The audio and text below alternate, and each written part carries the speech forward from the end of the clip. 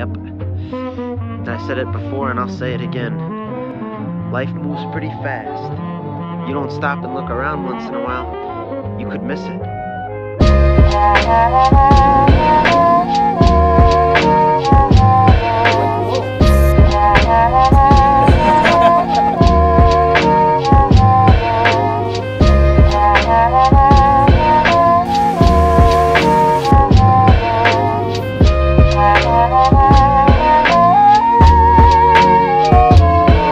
Listen.